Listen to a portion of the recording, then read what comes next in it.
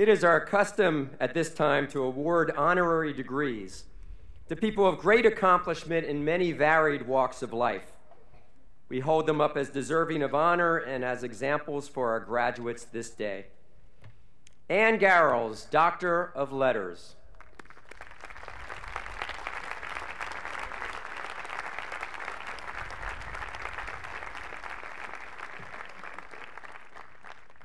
As the Edward R. Murrow of the Iraq War, your firsthand descriptions made real for countless radio listeners the U.S. invasion of Baghdad. One of the few journalists who chose to remain in the city, you risked death on one side and kidnapping on the other in order to breathe life into the first casualty of war, which is truth. By day, you, roam, you roam the city listening to soldiers, leaders, and ordinary citizens and by night strung these story beads into a necklace of reporting by satellite phone to audiences 8,000 miles away.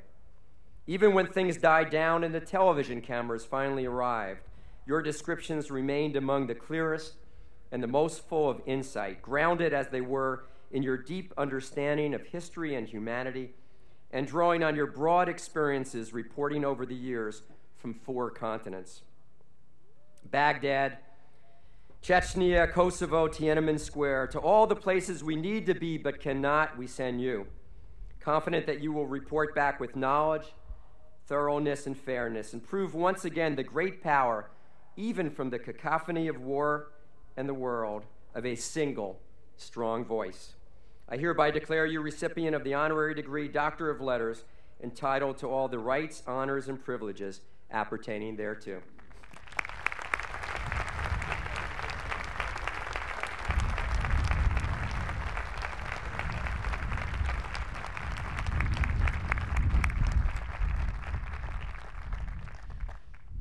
John Glenn, Doctor of Laws.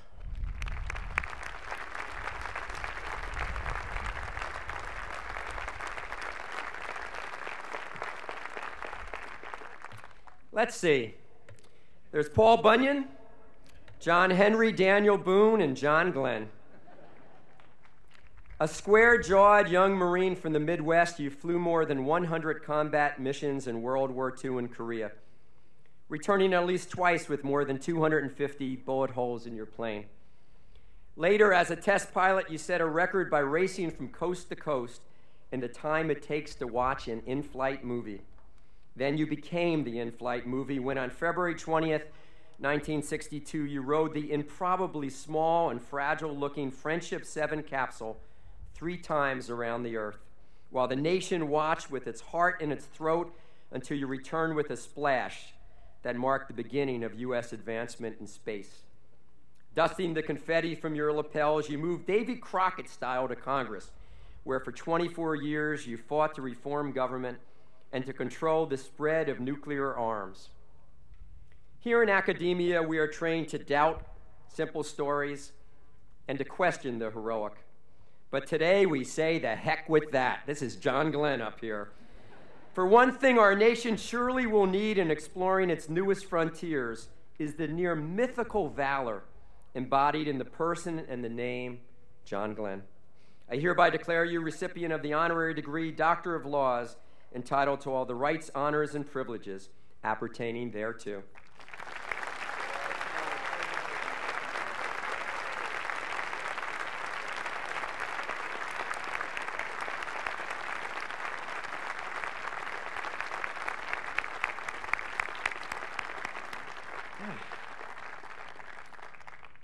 Tracy Kidder, Doctor of Letters.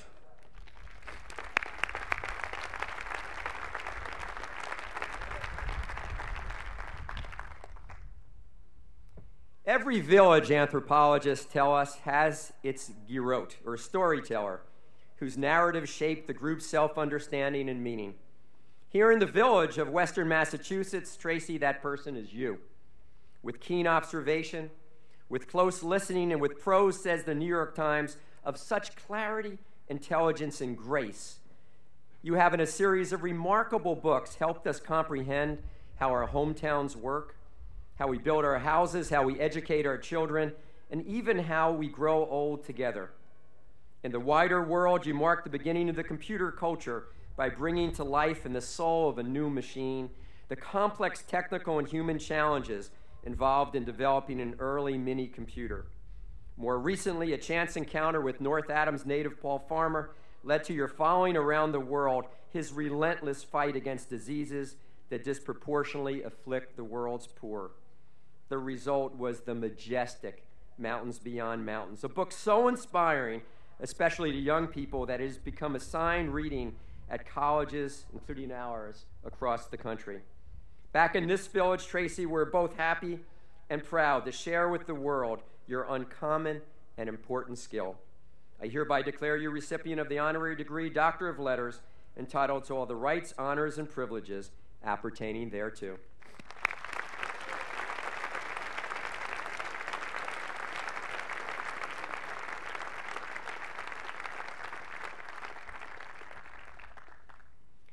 James McPherson, Doctor of Humane Letters.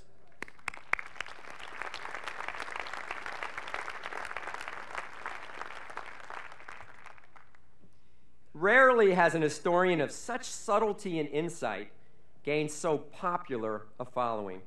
You have earned the highest honors in your field, including a Pulitzer Prize, two Lincoln Prizes, the Jefferson Lectureship, and the presidency of both the American Historical Association and the Society of American Historians. The 15 books you have written and the 10 you have edited have illuminated the U.S. Civil War, including its buildup and aftermath, focusing on both the battlefield and on the home front. Your battle cry of freedom is considered the finest single volume work ever on the subject. At the same time, in your position as a longtime faculty member at Princeton, you have helped train some of the finest historians of the next generation. Your work has also fed and even led the current surge in public interest in the Civil War. As a broad based educator, you have consulted for the 1990 PBS documentary series, served on the boards of the Civil War Trust and on the Association for the Preservation of Civil War Sites, and as president of the Protect Historic America, led the successful effort to preserve the battlefield at Manassas. This record, Jim, you have built as a scholar citizen it has served us well, both your profession and your nation. I hereby declare you recipient of the honorary degree, Doctor of Humane Letters, entitled to all the rights, honors, and privileges appertaining thereto.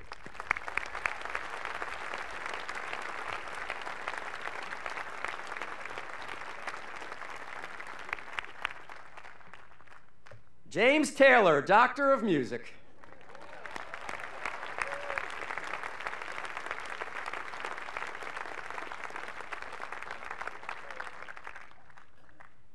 Probably the first person ever to grace this stage as a member of the Rock and Roll Hall of Fame. You have sold more than 40 million albums, I bought many of them, won multiple Grammys, recorded with the Beatles, drawn enormous audiences, and become such an iconic part of the culture to have appeared on Saturday Night Live, in a Disney movie, and yes, even on The Simpsons. The cover of Time magazine dubbed you the model for the era of the singer songwriter that you, more than anyone, helped to launch, reviving the centuries old tradition of the troubadour who sings his heart as a way of making sense of love and of life. Every guy who, behind closed doors, picks up an acoustic guitar and croons into a makeshift microphone imagines himself being you. From the most gangly teenager to at least one college president I know. More broadly, you have helped our culture publicly imagine what it means to be a sensitive male, full of emotional intelligence, and not needing to smash his guitar to make a point. In the end, you have touched us, not just your Berkshire neighbors, but the world, by showing that the lyrical telling of a life story, even one punctuated with fire and rain, can be oh so sweet. I hereby declare you recipient of the honorary degree Doctor of Music entitled to all the rights, honors, and privileges appertaining thereto.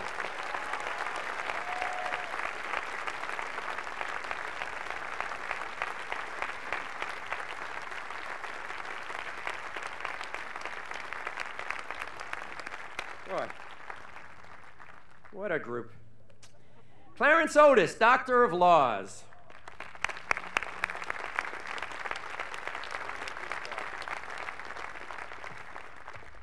Inspired by your father, you spent your childhood in Watts working hard, aiming high, and learning to befriend everyone from scholar to gang leader.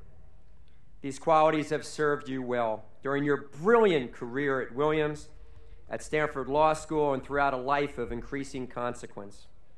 On Wall Street, you learned the intricacies of finance, both corporate and public, and after moving to Darden Restaurants, became CEO and chairman of what is the largest full service restaurant company in the world. From 1,400 outlets, including those of Olive Garden and Red Lobster, you serve more than 300 million meals a year. It's no surprise that the organization's stated values reflect those with which you were raised integrity and fairness, respect and caring, and always learning, always teaching. Even less surprisingly, the consensus of industry analysts, in the words of one, is simply that Darden is a superbly managed company. At a time when America is celebrating the movement into national leadership of people whose character has brought them from backgrounds that previously would have barred them, Williams is so proud to hold you up as another thrilling example. I hereby declare you recipient of the honorary degree Doctor of Laws entitled to all the rights, honors, and privileges appertaining thereto.